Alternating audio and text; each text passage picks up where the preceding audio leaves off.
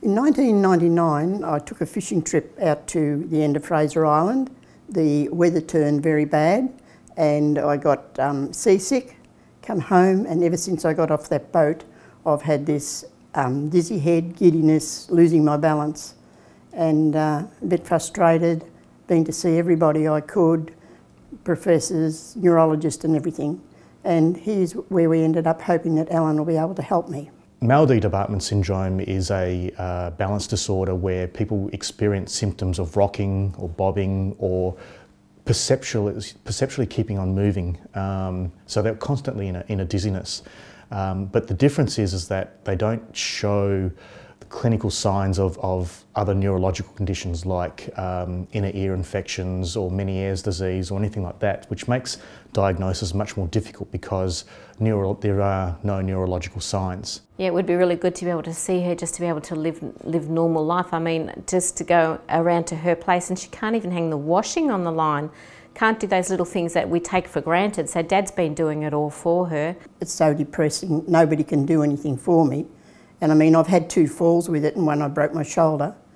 And um, I mean, then you think, well, what else is going to happen? So just going to put the coil on um, the magnet on top of the front part of your head.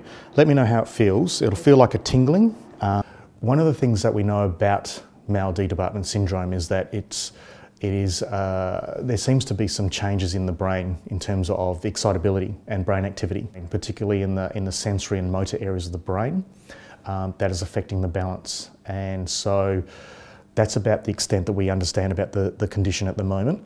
And we're looking at ways of, I guess, um, altering the excitability of the brain in terms of, of using TMS or transcranial magnetic stimulation. Just let us know how it feels. There might be a little tingling of, of hitting some nerves. All right, and just staying nice and relaxed. Here we go. How was that? Yeah, no, that's fine. Just got a little bit of tingling down my nose. Um, for our study, we're looking to recruit uh, 20 people, um, or hopefully as many as possible, given that the condition is very rare, um, and also a diagnosis of elimination. So uh, we're going to get half the people to have real TMS and half the people to get a sham, which is like a placebo, but we won't tell them what, what they've got uh, in terms of the treatment.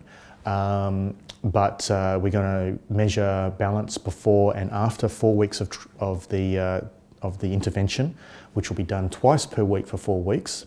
And then we'll follow up with the balance and the uh, survey for the uh, activities of daily living and, and how, do, how do they go about their daily life uh, at four weeks and eight weeks.